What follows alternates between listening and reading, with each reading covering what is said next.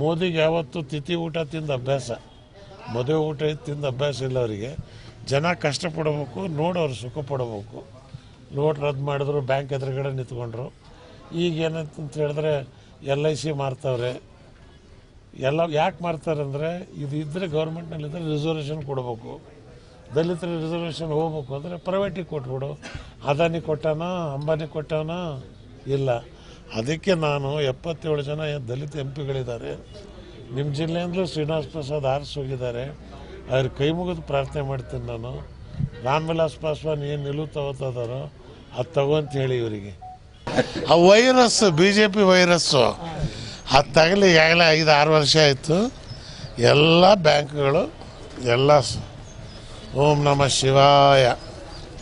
ಜೈ ಶ್ರೀರಾಮ್. ಬಂದ್. P M C ಬಂದಾಯಿತು, ಅದು ಬಂದಾಯಿತು. ದೇಶದ ಆರ್ಥಿಕ ಪರಿಸ್ಥಿತಿ ಉದ್ಧಾರ ಆಗಲ್ಲ.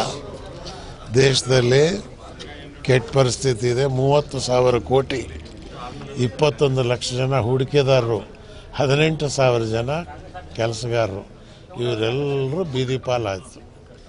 ಇಲ್ಲ, ಒಂದು ತಿಂಗಳಲ್ಲಿ ಸರಿ ಮಾಡ್ತೀವಿ ಅಂತ ನಿರ್ಮಲಾ ಸೀತಾರಾಮನ್. ಪಾಪ ಅದು, ಆ ಯಮನಿ ನೋಡಿದ್ರೆ ಸಿಟ್ಟು ಬಂದರೆ ಅತ್ತೆ ಕಂಡಂಗೆ ಕಾಣ್ತಿತ್ತು ಅದು ಅದು ಯಾವತ್ತೂ ನಕ್ಕಿದ್ದೇ ನೋಡಲಿಲ್ಲ ಅದು. ಆ ಯಮನಿ ತಗೊಂಡ ಪಾಪ ಕುಂದ್ರಿಸಿದಾರೆ. ಆರ್ಥಿಕ ಪರಿಸ್ಥಿತಿ ಏನು ಅಂತ ಗೊತ್ತಿಲ್ಲ. ಈ ತಿಂಗಳಂತ ಪಾಪ ಅವರಿಗೂ ಆಗ್ತಾ ಇಲ್ಲ. ಬಿ ಜೆ ಪಿಯವರಿಗೂ ಮೇಲ್ಗಡೆ ಯಡಿಯೂರಪ್ಪನ ಮೇಲೆ ಅಷ್ಟು ವಿಶ್ವಾಸ ಇಲ್ಲ. ಮದುವೆ ಮಾಡಿಬಿಟ್ಟಿದ್ದಾರೆ, ಪ್ರಸ್ತಾವ ಮಾಡೋಕ್ಕೆ ಹೆಣ್ಣು ಸಿಗ್ತಾ ಇಲ್ಲ ಪಾಪ. ರೂಮ್ ರೂಮ್ ಹುಡ್ಕೊಂಡು ತಿರುಗ್ತಾವ್ರೆ ಅವರು. ಎಲ್ಲೈತೆ ಎಲ್ಲೈತೆ ಅಂತ. ಸೊ ಹಾಗಾಗಿ ಇಲ್ಲೂ ಕೂಡ ಕರ್ನಾಟಕದಲ್ಲೂ ಕೂಡ ಕಷ್ಟ. ದಿವಾಳಿ ಆಗೋಗಿದ್ದಾವೆ. ಡಿಕ್ಲೇರ್ ಮಾಡಬೇಕು. ಈಗ ಸತ್ತಾರೆ ಉಣ್ಬೇಕು ಸುಡಬೇಕು ಅಂತ ತೀರ್ಮಾನ ಮಾಡ್ಬೇಕು ಅಷ್ಟೇ. ದಿವಾಳಿ ಆಗಿದೆ ಅಂತ ಹೇಳೋದಕ್ಕೆ ಏನು ದೇಶ ಒಳ್ಳೇದಾಗತ್ತೆ.